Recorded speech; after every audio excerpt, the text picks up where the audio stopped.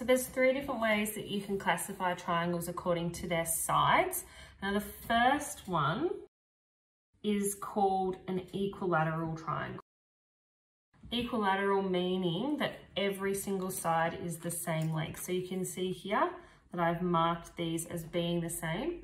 So all sides are the same length.